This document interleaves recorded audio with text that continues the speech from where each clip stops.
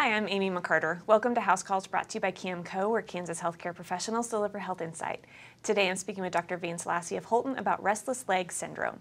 Thanks for being here today. Good to be back, thanks. What exactly is restless leg syndrome? Restless leg syndrome is a, actually in some cases, a relatively dis disabling problem uh, that's characterized by um, the, either the movement or the sensation of need to move the legs. Uh, it, it, can happen anytime, uh, day or night, but it's more common at night and it can just drive, drive folks crazy because they're trying to go to sleep and their legs are either jumping or they get this overwhelming sensation that they have to move their legs. So they'll you know move them or get up and walk around, things like that. And if it goes away, that's one thing. But if it just keeps doing it, it makes, makes so it's really hard to function during the day or really hard to get a good night's sleep. What is it caused by? No one really knows for sure. It's a, it's a it's a neurologic condition. It's thought to be actually a problem in the brain, not in the feet or in the legs. And how do you know if you might have it?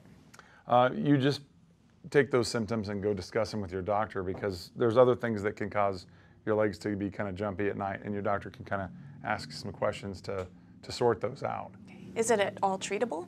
Yeah, actually, we have several kinds of medication that work for it. Uh, sometimes um, just keeping your brain active during the day has been shown to help. So, um, doing puzzles or um, any other kind of sort of mental activity where you're turning your brain on for whatever reason seems to help prevent the restless legs later in the day. Okay. And at what point should you know that you should call your doctor for it? Basically, if you're losing sleep because you have to keep getting up to, and walking around to make your legs calm down, or if you're losing sleep because you just your legs just keep jumping in bed, uh, that's a conversation you can have with your doctor about what might be something you can do to help. Okay. Good information. Thanks for being here. No, thanks for having me.